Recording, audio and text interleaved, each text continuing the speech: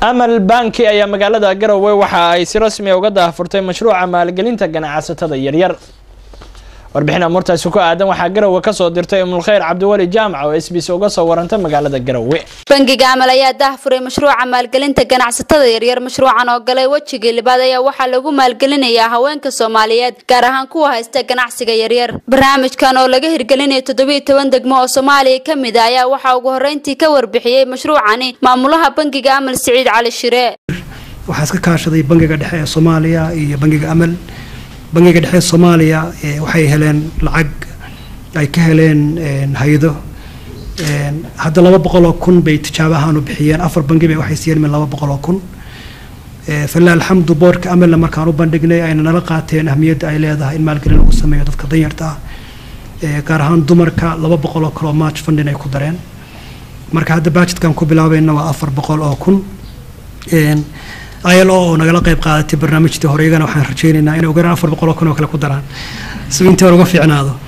Laakiin dumarka asbaabtaan u xulanay qayb badan oo ka mid a cabdikhayr baa sheegay oo daraasado badan baa muujiyay inuu xiriir ka dhexeeyo toos ah. Direct correlation isbeddelka ku dhaca dakhliga hooyada iyo tayada nolosha qoyska. Isbedelka ku dhaca dakhliga hooyada iyo heerka waxbarashada carruurta isbeddelka ku dhaca dakhliga hooyada iyo levelka nutritionka carruurta yani daraasado oo mutawaatir ah aada u fara badan baanu aragnay oo markii hooyada dakhligeedu one dollar ku darsamo in saameyn toosa ay ku yeelanayso noloshii qoyska noloshii caruurteedii heerka waxbarashada caruurteedii zamankaynu maanta joognana access to finance waa muhiim. Dadku inay la macaamilaan bangiyada waa muhiim. Dumarku waa qeyb weyn oo ka mid a bulshadii. Mashruucan wax faa'iidaa lagama rabo. Yacni waa qarad xasan siduu sheekhu sheegay qofkii shan boqol la deymiyo shantii boqol buu soo celinaya qofkii kun la deymiyo kun dollar buu soo celinaya. Marka hore waxaan siin doonaa dumarka tababar. Waxaa laga yaabaa dad badan oo heerkooda waxbarasho hooseeyo. Marka tababar kooban oo fahanka ganacsiga weliba ganacsiga casriga hadafku waa in dadku noqdaan dad halabuur ganacsi leh oo cusub soo kordhin kara. Cabdikhayr abshir jaamac madaxa suuqgeynta amal bank ayaa isaguna dhankiisa ka warbixiyey muhiimadda ay amal u xulatay haweenka. Dumarku markay noqoto danta qoyskooda aad bay uga uga horeeyaan ragga. Waa aad ba u daqnadaan macnaha waxaan ka wadaa nafsadooda intaysan ama waxay baahidooda iyagoo aan fiirin bay waxay priorities ka dhigaan ama hormariyaan baahida qoyskooda.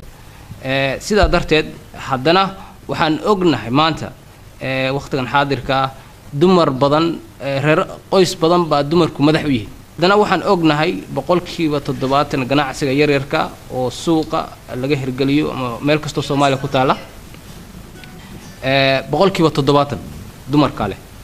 Sidaa daraaddeed barnaamijka maanta waxaan aada anagoo iskaashanayna bangiga dhexe soomaaliya waxaan aada xoogga u saaranaa dhinaca dumarka suuqa fadhiya ama ganacsiga yaryar leh. Faatimo diiri oo ka socota ururka samafal ayaa soo dhaweysay mashruucani iyadoo sheegtay inuu wax ka bedeli doono nolosha qoysaska soomaaliyeed. Marka run ahaantii barnaamijkani wuu shaqaynayaa waan u ducaynaynaa dadku lacagta waa soo celinayaan idinkuna waad ballaarinaysaan. Insha allah birabil karim because baahida jirta ayaa aada u badan oo aad aada u asiibteen. Ilaahayna ajir ha idinka siiyo intii ka shaqaysay iyo intii raadinaysay inay dadkan wax u qabtaan. Waa wax inagoo dhana taabanaya waxaana waxna gaarsiin karinin wixii yaraa oo loo qabtayna wax weyn ay ka bedeli karaan noloshooda. Wasiiradda haweenka puntland anise xaaji muumin oo daahfurtay mashruucani ayaa u mahad celisay amal bank iyadoo xustay faa'iidada uu leeyahay mashruucani. Iyadoo amal bank uu yahay islamic bank inuusan oga duwanayn systemka ay isticmaalayaan systemka badanaa la yiraahdo afrikaanka ma yaqaanaan. Oo dadka intay yimaadaan aysan lacag iska qaadanayne la marinayo wadiiqadii war ma taqaana sida lacagta loo isticmaalo. La barayo loo diyaarinayo si qofkii isagoo diyaarsan uga faa'iidaysto inuu wax soo saarto uga faa'iideeyo lacagtii dib ugu soo celiyo isla markaana u faa'iideeyay dadkiisa. Amal waa idiin ducaynaynaa ilaahayna ummadda ha idinkugu soo dhiibo intaan in ka badan insha allah.